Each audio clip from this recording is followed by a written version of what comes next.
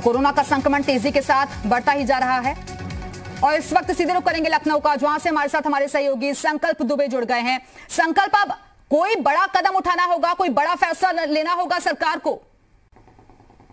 जी बिल्कुल जिस तरीके से व्यवस्थाएँ जो फ़िलहाल देखी जा रही है उसमें कहीं ना कहीं अब साफ़ तौर पे ये साफ़ हो चुका है कि कोरोना का संक्रमण उत्तर प्रदेश में उस पर लगाम बिल्कुल मैं लौटूँगी आपके पास लेकिन इस वक्त डिप्टी सीएम दिनेश शर्मा जी हमारे साथ जुड़ गए हैं। दिनेश शर्मा जी बहुत स्वागत है आपका जी उत्तर प्रदेश उत्तराखंड पर। सर ये क्या स्थिति फ़िलहाल हम देख रहे हैं? प्रदेश की जहाँ पूर्व मुख्यमंत्री मुख्यमंत्री कैबिनेट मंत्री सबके सब कोरोना की चपेट में? माननीय मुख्यमंत्री से मेरी वार्ता हुई थी। उनको जुकाम भी है हल्का बुखार भी है। हम्म। और गले में खराश की भी शिकायत है। माननीय मुख्यमंत्री जी इसके बावजूद पूरी तरीके से भी वर्चुअली काम को सुपरवाइज कर रहे हैं। हम्म। और उन्होंने स्पष्ट निर्देश दे रखे हैं कि कोई भी काम रुकना नहीं चाहिए। और वो अधिकारियों को निरंतर वर्चुअली। अपने दिशा निर्देश पहुँचा रहे हैं। हम्म। जनता तक ज़्यादा से ज़्यादा सुविधाएँ पहुँचे और सारे मंत्रीगण अपने अपने जिलों में जो प्रभार के क्षेत्र हैं उसमें वो व्यवस्था को जो है दिशा निर्देशित करते रहे। हम्म इसके आदेश अभी उन्होंने जारी किए हैं और ईश्वर से यही प्रार्थना है कि जल्दी स्वस्थ हो और उन्होंने अपनी कोरोना की के संदर्भ में जाँच की जाँच रिपोर्ट उनकी प्राप्त हुई। उन्होंने अपनी जाँच कराई थी। जब उनके कुछ अधिकारी कोरोना पॉजिटिव हो गए थे हम्म। तो उनके संपर्क रहने के कारण उन्होंने अपनी जाँच कराई थी। और उस जाँच में वो भी कोरोना पॉजिटिव निकले हैं। हम्म। इसलिए उन्होंने अपने आप को आइसोलेट कर रखा है और सभी को दिशा निर्देश जारी किए हैं कि हम्म। काम में बाधा नहीं आनी चाहिए। और अपने को सुरक्षित रखते हुए लोग जनता के प्रति जो भी हमारा दायित्व बोध है उसका निर्वहन सब जी दिनेश शर्मा जी क्योंकि आपने बताया कि शुरुआती लक्षण उनको दिखे थे और इस वजह से ही उन्होंने खुद को पहले ही आइसोलेट कर लिया था उनकी जाँच रिपोर्ट भी आ गई है।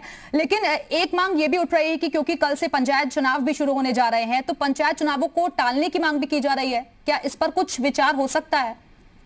देखिए पंचायत चुनाव के संदर्भ में दिशा निर्देश गाइडलाइन पहले से जारी की जा चुकी है और कड़ाई से उसका पालन हो। उसके लिए जिला जो प्रशासन है उनको दिशा निर्देशित किया जा चुका है।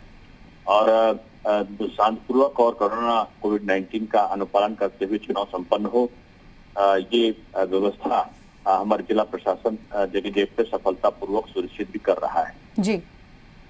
दिनेश जी, लेकिन जिस तरीके की स्थितियाँ फ़िलहाल प्रदेश में देख रहे हैं, खासतौर पर राजधानी लखनऊ जो है, वो भी इसकी चपेट में आ गई है तो क्या आप लोगों के लिए आगे का प्लान कुछ आप लोगों ने तैयार किया है?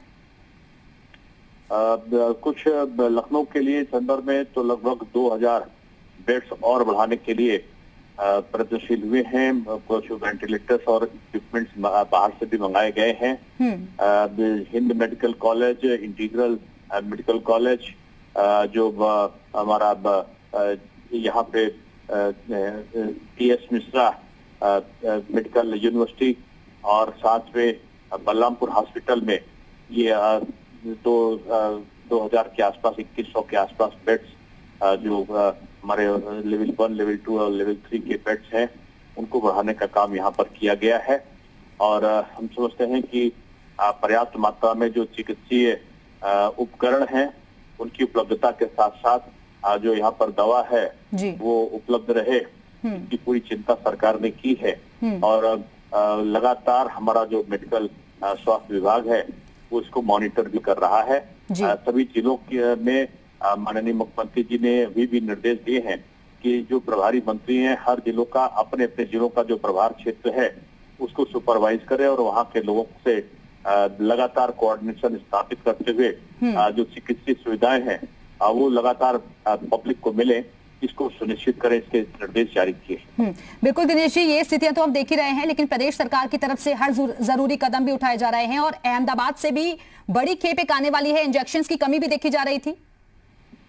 हाँ निश्चित रूप में इंजेक्शन की उपलब्धता हमारे पास हो गई है।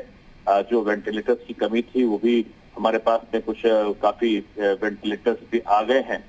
तो हम समझते हैं कि लखनऊ में जो भी आवश्यकता पड़ रही है वो तत्काल हमारा जो स्वास्थ्य विभाग है उसको मुख्यमंत्री जी के निर्देश पर पूरा कर रहा है। जी दिनेश जी लेकिन कई जगह पर ऐसा है कि कोविड अस्पतालों को भी आप, आप लोगों की तरफ़ से बढ़ाने के निर्देश दिए गए हैं लेकिन ओपीडी सेवाएँ जो बंद हुई हैं तो ऐसे में कुछ दिक्कतें लोगों को भी हो रही हैं मरीजों को भी हो रही हैं जो कि रूटीन चेकअप के लिए वहाँ जाते हैं। सब जगह सब जगह ओपीडी सेवाएँ बंद नहीं है। जी। तमाम निजी चिकित्सालयों में ओपीडी सेवाएँ अभी भी चल रही है। जी। और जो निजी क्षेत्र में कोरोना की जाँच का प्रक्रिया थी वो बंद नहीं है उसकी गलत खबर आई थी। जी। उसको बंद नहीं किया गया है। जी। दिनेश जी क्या कोई ऐसा प्लान भी कि आगे लॉकडाउन की संभावना भी बन सकती है क्या? अभी लॉकडाउन पे कोई विचार नहीं किया गया है। पहली जो प्रथम लहर थी उसमें लॉकडाउन इसलिए लगाया गया था कि हमारे पास अब चिकित्सीय व्यवस्थाएँ नहीं थी। हम्म। दो मार्च 2020 में जब कोरोना का पहला पेशेंट मिला था आगरा में उस समय उसको चेकिंग कराने के लिए जाँच कराने के लिए उसको एनआईवी जो पुणे में उसको भेजा गया था। और मरीज़ को दिल्ली में इलाज कराने के लिए भेजा गया था। जी। आज हमारे पास दो लाख बारह हज़ार से ऊपर की हम प्रतिदिन जाँच करा रहे हैं और हमारे पास में 125 सरकारी स्तर पर और 104 निजी क्षेत्रों में प्रयोगशालाएँ यहाँ पर मौजूद हैं। ऐसी स्थिति में लॉकडाउन ऐसी स्थिति में कि कोई अभी उस पर विचार नहीं किया गया है। हम अपनी तरफ़ से पूरी कोविड गाइडलाइंस को हमारी सरकार ने जारी किया है उसका कड़ाई से अनुपालन हो। और लोगों से कहा गया है कि सरकार की सुविधाओं के साथ साथ जो सरकार की प्रयत्न है उनके साथ साथ लोगों के अपने प्रयत्न भी स्वयं को सुरक्षित करने की जो सबसे बड़ी ज़िम्मेदारी है वो हमारी जनता की है जो कोविड 19 की गाइडलाइंस का पालन करे हम्म। अपने को सुरक्षित रखने के लिए मास्क और सैनिटाइजर का उपयोग करे दो गज की दूरी का उपयोग करे हम्म। ये अपील ज़रूर हमारे माननीय मुख्यमंत्री ने पॉजिटिव होने के बावजूद जनता से की है। जी बिल्कुल। और देखिए मुख्यमंत्री की जो गंभीरता है दिनेश जी वो नज़र भी आती है क्योंकि खुद वो ग्राउंड ज़ीरो पर गए और वहाँ के हालात भी उन्होंने देखा और इसी वजह से नाइट कर्फ्यू लगाने के भी निर्देश दिए गए। लेकिन सर क्या इसी तरीके के कोई और बड़े प्लान्स भी हैं सरकार के जहन में? देखिए अभी तो हमारी सबसे बड़ी आवश्यकता है कि सभी जगह मेडिकल फैसिलिटीज़ उपलब्ध हों। इसके लिए जो हम लोगों ने जो कंसल्टेंसी है उसको हम लोगों ने टेली कंसल्टेंसी के तौर पर लोगों को फ़ोन के द्वारा भी तमाम प्रकार के उपाय तमाम प्रकार की दवाओं को उनके सिम्टम्स को देखकर अलग अलग सरकारी जगहों पर प्राइवेट क्षेत्र के लोग भी अ, बताने का काम कर रहे हैं।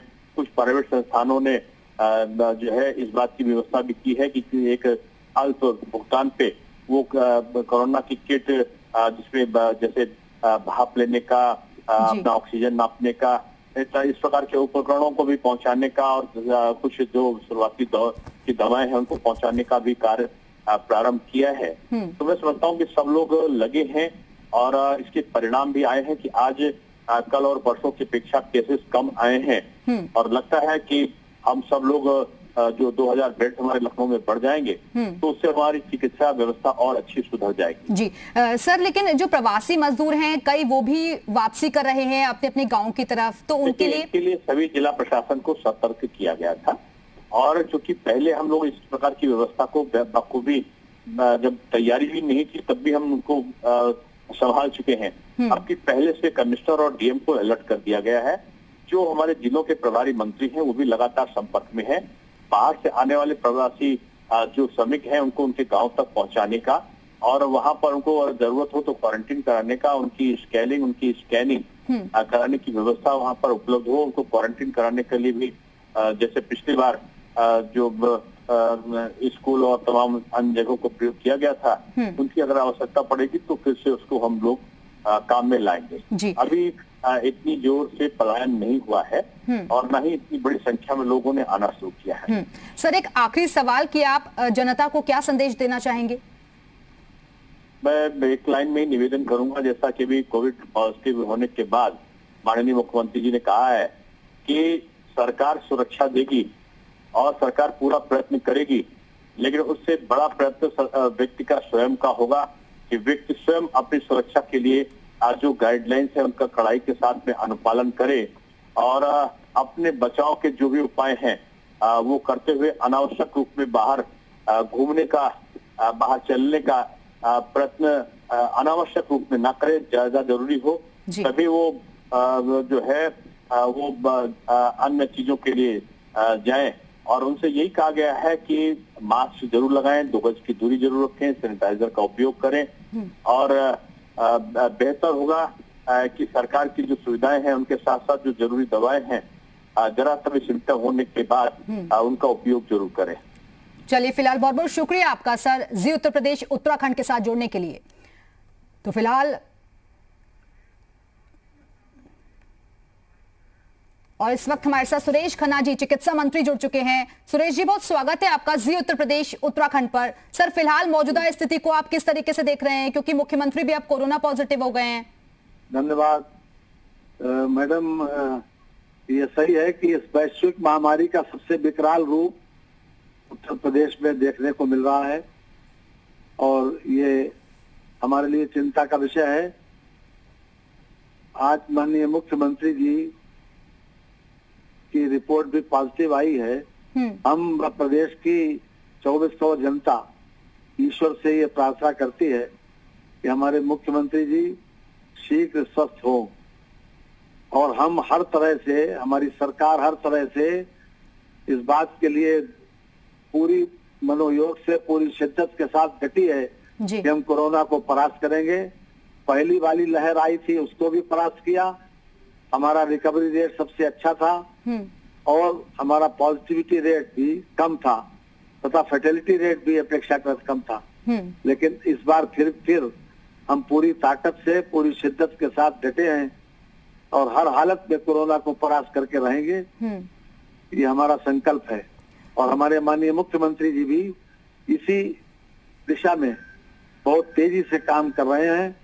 लगातार रोज मीटिंगें करके रोज मॉनिटरिंग करके सरकारी तंत्र को भी एक्टिव किया है और निजी क्षेत्र को भी उन्होंने सहयोग लेकर एक्टिव किया है। हम्म। कि बचाव से लेकर और इलाज तक हर पहलू पर नज़र रखी है।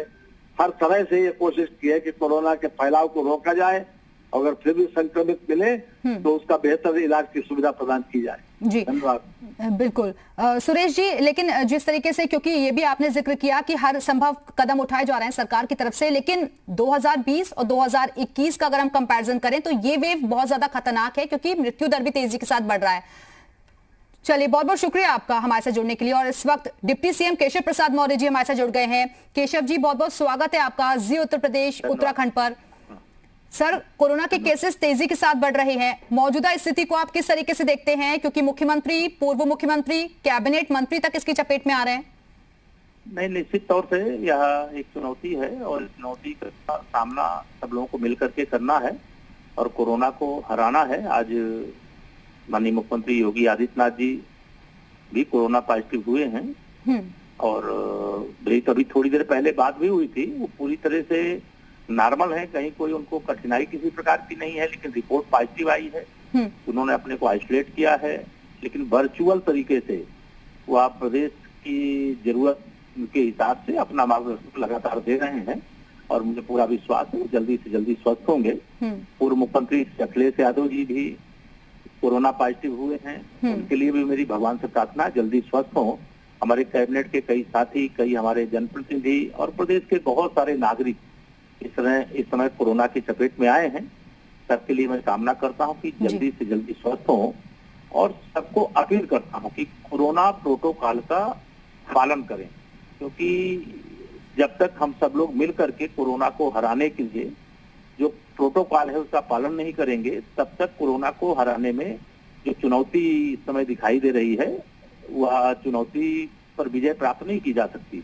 इसे मेरी सभी प्रदेशवासियों से विशेष तौर से अपील है कोरोना प्रोटोकॉल का पालन करें। सरकार के स्तर पर सभी आवश्यक कदम जितनी शीघ्रता से जो भी व्यवस्था की जा सकती है वो किया जा रहा है। बिल्कुल केशव प्रसाद जी लेकिन चिकित्सा सेवाओं को और बेहतर बनाने के लिए क्या कुछ कदम और उठाए जाएँगे सरकार की तरफ़ से? सरकार की तरफ़ से हर ज़रूरी कदम उठाए जा रहे हैं। हम्म। निजी हॉस्पिटलों में भी कोविड के लिए बेडें मतलब अलग से संख्या निर्धारित की जा रही है। हम्म। जो मतलब केसेस ऐसे हैं जिनके लिए कठिनाइयाँ होती हैं उनके लिए भी अलग से आईसीयू का भी प्रबंध किया जा रहा है। हम्म। सरकार पूरी तरह से सतर्क है। सरकार सभी आवश्यक कदम उठा रही है। हम्म। सरकार के स्तर पर कुछ भी कमी न रह जाए इसका हम लोग प्रयास कर रहे हैं। और यह ज़रूर है कि आज जो रिपोर्ट कोरोना की आई है माननीय मुख्यमंत्री जी की या पूर्व मुख्यमंत्री जी की या हमारे कई कैबिनेट के हमारे थी और बहुत सारे हमारे जनप्रतिनिधियों की उसको लेकर चिंतित है। हम सबको चूँकि कर्तव्य पालन की दृष्टि से कई कार्य करने के लिए ना चाहते हुए भी जाना ही पड़ता है तो वहाँ पर कौन संक्रमित है कौन नहीं संक्रमित है पता नहीं चलता है। हम्म। क्योंकि मुख्यमंत्री जी के कार्यालय में कई अधिकारी पॉजिटिव हुए उसके कारण से चूँकि माननीय मुख्यमंत्री जी के संपर्क में रहते थे। हम्म। उनकी भी रिपोर्ट पॉजिटिव आई है। हम भगवान से प्रार्थना करते हैं कि सभी लोग मुख्यमंत्री जी सहित जल्द से जल्द स्वस्थ चलिए बहुत बहुत शुक्रिया आपका जी उत्तर प्रदेश उत्तराखंड के साथ जोड़ने के लिए।